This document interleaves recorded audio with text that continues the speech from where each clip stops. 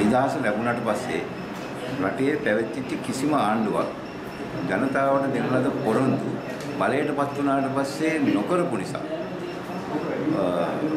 නීතිය වල්වැදිච්ච නිසා නීතිය පිළිබඳ හොඳ දැනුමක් ඇති නීතියට ක්‍රියා කළ හැකි පුද්ගලයේ එයාගේ පසු දැනට මේ කරන ලද මේවල ජයග්‍රහණත් එක්ක බලලා මේ මනුස්සයාට යමක් කළ හැකි පුද්ගලයෙක් බව පැහැදිලිව තේරිච්ච නිසා රටේ මේ මේ දැනට තියෙන මේ වල්වැදිච්ච දේශපාලනය වෙනස් කරලා ජනතාවට සාර්ථක ආර්ථික ක්‍රමයක් මත අ, බුද්ධිමතුන්ට ඔළුව කලින් තියාගෙන වැඩ කරන්න පුළුවන් පසුබිමක් සකස් කළ හැකි පුද්ගලයෙක් හැටියට අඳුනාගත් නිසා.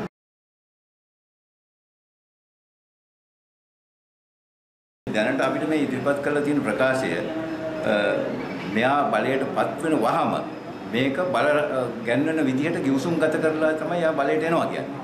එතකොට මෙයාට අනිවාර්යෙන් මේ තියෙන ව්‍යවස්ථාවන් වෙනස් කරලා මේක මේවා කරන්න වෙනවා. එතකොට එයාට සිරිසේන කෙනෙක් වීමේ හැකියාවක් නැහැ.